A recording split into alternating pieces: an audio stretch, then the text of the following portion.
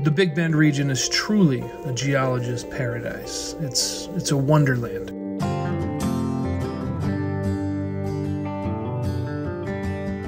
We've got a lot to see out here. The mountains are beautiful. I drove through the Big Bend just on a whim and I went, wow, I never realized there were mountains like this in Texas.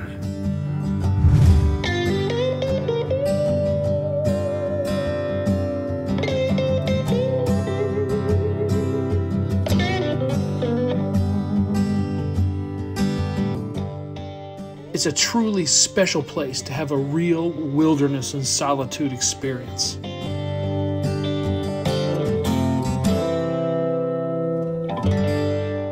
If you want to find one of the most remote, quiet, darkest corners of the United States, this is it.